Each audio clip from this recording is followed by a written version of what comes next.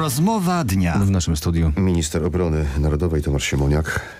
Dzień dobry panie ministrze. Dzień dobry panom, dzień dobry państwu. Było panu gorąco, kiedy czytał pan zapis rozmowy Władysława Sikorskiego z Jackiem Rostowskim o stosunkach polsko-amerykańskich? Nie emocjonują sojuszu? mnie y, rzeczy, które y, są jakąś sensacją, które poch- pochodzą z nielegalnych podsłuchów z obydwoma panami. Mam okazję często rozmawiać, y, także i o sojuszu polsko-amerykańskim, więc y, y, jakoś specjalnie nie epatowałem się tymi doniesieniami. Ale z ministrem Sikorskim, rozumiem, ma pan na myśli rozmowy. Tak. I mówi co innego jak w rozmowie z ministrem Rostowskim? Nie odnoszę się do tej rozmowy y, podsłuchanej czy nielegalnie nagranej. Wiem, nad czym pracujemy, wiem, jakie jest stanowisko rządu, stanowisko Polski w sprawie sojuszu ze Stanami Zjednoczonymi. Bardzo często rozmawiam o tym z ministrem Sikorskim i y, mamy tutaj takie zdanie, jak y, publicznie je prezentujemy. To jest filar, fundament polskiego bezpieczeństwa. A prywatnie?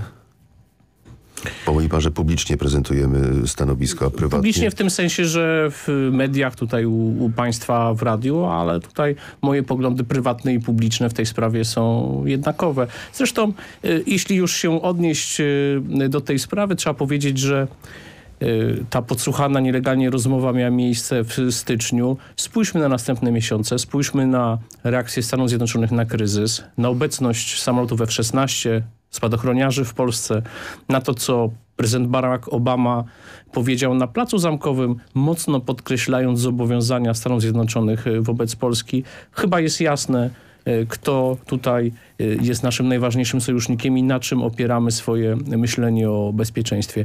Wydaje mi się, że nie ma co jakoś y, dzielić włosa na czworo i, i analizować prywatnych rozmów. Ważne jest, jakie jest stanowisko y, Polski. Ono jest y, jednoznaczne.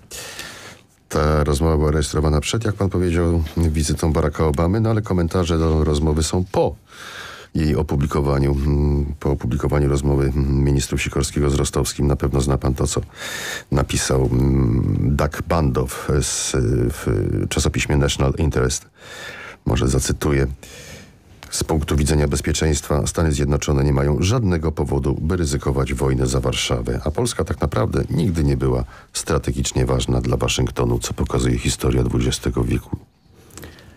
Przecież y, toczy się dyskusja także w Stanach Zjednoczonych, także w NATO przez cały czas, y, jaką mamy sytuację, czy należy wzmacniać się i czy nadal NATO ma przeciwników, y, a Stany Zjednoczone czy mają globalnych przeciwników, czy też nie.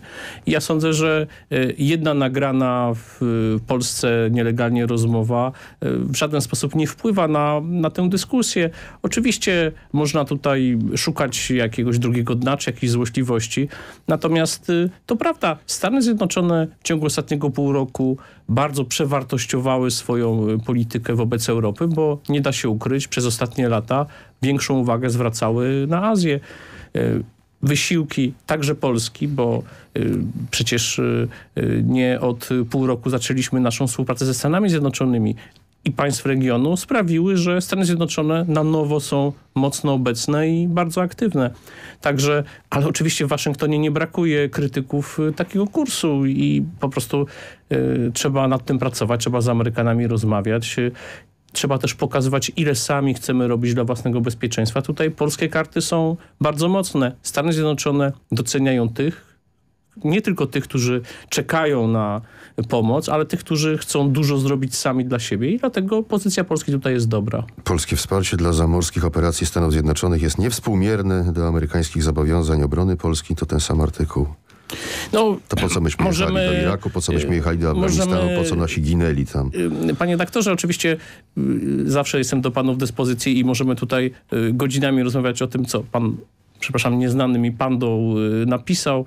Y, Ja wiem, co mówi sekretarz obrony Stanów Zjednoczonych, co mówią amerykańscy wojskowi, czy amerykańscy senatorowie, czy to, co wszyscy słyszeliśmy na Placu Zamkowym, jak Stany Zjednoczone y, widzą rolę Polski, jak doceniają nasze zaangażowanie w misjach. Też i to, że w Afganistanie 43 y, Polaków poległo, więc wydaje mi się, że przywiązywanie nadmiernej wagi do opinii jednego komentatora jest tutaj y, nieuzasadnione. Tak, są różne głosy i te głosy powinniśmy przyjąć, z nimi dyskutować, ale nie też y, nadmiernie się emocjonować. A to, o czym mówił minister Sikorski, o, ów sojusz, jak on to powiedział, szkodliwy ze Stanami Zjednoczonymi kosztem konfliktu z Niemcami i z Francuzami. Jak pan to skomentuje? Widzę, że nie da się inaczej naszej dzisiejszej rozmowy prowadzić niż tylko w odniesieniu do tego, y, co nielegalnie zostało nagrane. Y, Ale jeśli poważnie się odnieść, bo oczywiście niezależnie od y, tych podsłuchów kwestia jest, sądzę, że od lat budujemy naszą politykę w taki sposób, żeby dbać o równowagę między jak najlepszymi relacjami ze Stanami Zjednoczonymi, a i dobrymi relacjami z sojusznikami europejskimi. Ja prosto z, ze studia radiowego lecę do Berlina rozmawiać z panią minister obrony Niemiec o, o współpracy, o naszej obecności w NATO, o szczycie wrześniowym, o tym, co się dzieje na Ukrainie. Yy, Tydzień temu byłem w Paryżu yy, w podobnym charakterze, yy, więc wydaje mi się, że trzeba robić to i to. Przecież Niemcy i Francja, wymienione przez państwa, przez pana kraje, są także sojusznikami Przez Stanów. ministra Sikorskiego. Trzymajmy się Proszę? oryginału. Przez ministra Sikorskiego. No pan Trzymajmy cytował, się. pan tak. cytował. E, A my sami sobie w jaki sposób możemy pomóc, bo to też w tym wywiadzie w, w National Interest było napisane, że najpierw sobie sami pomóżmy, a potem dopiero Oczywiście e, najważniejsze jest to, co robimy sami dla siebie. To jest e, modernizacja armii i tutaj jeszcze długo przed kryzysem e, przyjęliśmy rozwiązania w Polsce, które dają stabilne finansowanie. Przyjęliśmy w ubiegłym roku dziesięcioletni program modernizacji. Y, zwracam uwagę, że pierwszy raz y, na poziomie Rady Ministrów taki dokument powstał, nie tylko ministerstwa. Więc przede wszystkim budujemy własne zdolności. Dbamy o relacje z sojusznikami, o to, żeby NATO było zwarte i silne, żeby w centrum swojej uwagi miało obronę kolektywną, czyli artykuł 5, który mówi, że każdemu zagrożonemu, napadniętemu krajowi wszystkie zobowiązane są pomóc. No i wreszcie e, pracujmy z państwami w regionie, z Grupą Wyszehradzką, z Litwą, Łotwą, Estonią, Rumunią, e, bo to są nasi sąsiedzi. Nawet jeśli mają inne zdanie, od choćby w przypadku obecności wojsk amerykańskich w Europie Środkowo-Wschodniej. Nawet jeśli, nawet jeśli mają inne zdanie, tutaj każdy kraj sam y, definiuje własne potrzeby, natomiast y, y, nawet i te państwa, które y, pan wymienił, nie kwestionują, wręcz przeciwnie, popierają ten kierunek, który przyjęło NATO w kryzysie, to znaczy podjęcia różnych kroków, które wzmacniają sojusz w krótkiej i w dłuższej perspektywie. Czy w 2015 roku budżet na obronę będzie wyższy? Ponad 1,95% PKB? Mówił o tym minister finansów y, Mateusz Szczurek. Y, W roku 2015 y, przypadają płatności związane z, jeszcze z programem samolotu F-16, więc na pewno ten, ten budżet będzie wyższy. Natomiast od roku 2016 rozmawiamy na ten temat, w jaki sposób budować tutaj stabilny przyrost y, wydatków, być może do tych 2%, o których y, wspominali prezydent i premier. W 2018 roku mm, ma się rozpocząć produkcja i dostawa pierwszych kilkunastu tysięcy kompletów indywidualnych systemów walki Tytan. To jest nowa informacja. W tym roku resort chce rozpisać przetarg na trzy okręty podwodne. Przetarg na 70 śmigłowców ma być rozstrzygnięty do końca 2014, czyli bieżącego roku. Czy to są wszystko rzeczy aktualne do zrealizowania? Czy tak jak to bywa, podaje się datę, a ona potem jest przesuwana no, z powodów różnych, tak to nazwijmy eufemistycznie. Jeśli chodzi o Tytana, y, wczoraj została podpisana umowa z konsorcjum polskich firm. Y, To duży sukces, y, bo jest tutaj y, ogromny udział y, polskiego przemysłu, polskiej nauki y, i nie ma żadnych podstaw dzień po podpisaniu umowy, aby sądzić, że jakieś terminy miałyby tutaj być y, nie y, dotrzymane. Y, Także te inne plany, o których y, pan powiedział, y, są aktualne mają swoje finansowanie. Y, Pracujemy nad tym, aby terminy zostały dotrzymane. Ale oczywiście czasami to zależy też od drugiej strony, od dostawców, oferentów. y, y, Ale, ale myślę, że y, te terminy, które są zapisane w harmonogramach, uwzględniają tutaj różne okoliczności i będą dotrzymane. No to ktoś powie, to może wybrać takiego referenta, który gwarantuje dostawy w określonym terminie.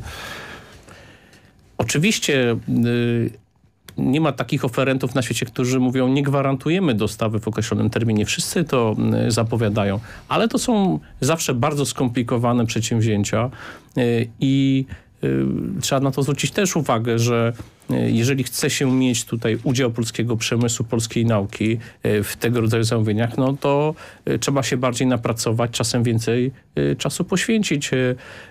Najszybsze są najprostsze przetargi. Zwracam uwagę, tak jak mieliśmy przetarg na samolot szkolny dla e, sił powietrznych, tutaj terminu właściwie co do dnia dotrzymaliśmy. Przy przedsięwzięciach bardziej skomplikowanych, gdzie stawiamy różne warunki, e, gdzie e, trzeba przeanalizować różne aspekty sprawy, no, dzie, dzieje się to czasami wolniej. Zwracam uwagę, że wszelkie dokumenty, na przykład pytał pan o śmigłowce czy okręty podwodne, liczą tysiące stron i każdy szczegół jest ważny. Każdego szczegółu trzeba bronić, bo to jest no, nasz interes. Przed siódmą, nie wiem, czy pan minister miał okazję słuchać, mm, mówiliśmy o tak zwanym offsecie przy okazji y, kontraktów na dostawę różnego y, rodzaju broni. Jeden z rozmówców mówił czasami, od, od, odnosił takie wrażenie, że strony, to chodziło o stronę polską i amerykańską w tym przypadku, że Amerykanie przywieźli fachowców i posadzili ich przy stole. Prawników przede wszystkim.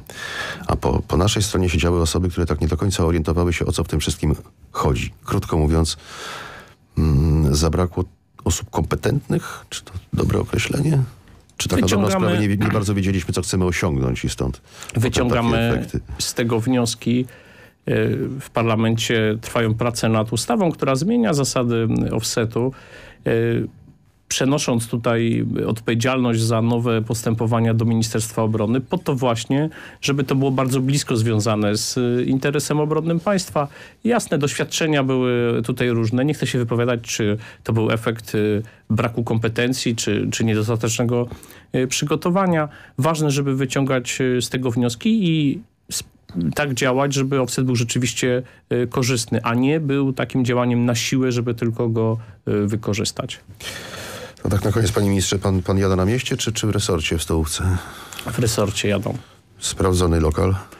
No, lokal sprawdzony w tym sensie, że także i tam pracuję, ale nie, nie narzekam i, i, i grochówkę można też i tam zjeść. Tam SKW odpowiada za bezpieczeństwo, czy Tak. SWW? SKW, tak? SKW. Służba Kontrwywiadu Wojskowego, czyli tam... Ale to nie oni gotują, gotują y, fachowcy. A co tam dobrego można w resorcie zjeść oprócz grochówki? No, siły powietrzne preferują żurki y, ponad grochówkę. To, to ciężko, Myślę, że ciężko strawny trochę y, no, wojsko, ja mówię, też mam okazję jadać z żołnierzami przy okazji różnych wydarzeń na poligonach czy w jednostkach. Bardzo mocno preferuje polską tradycyjną kuchnię tutaj. Nowinek nie ma, ale jak już Schabowy, coś jest, to jest bardzo kapusta dobre. zasmażona i ziemniaki. Proszę? Schabowy, kapusta zasmażona i ziemniaki. Tak. A potem w górę.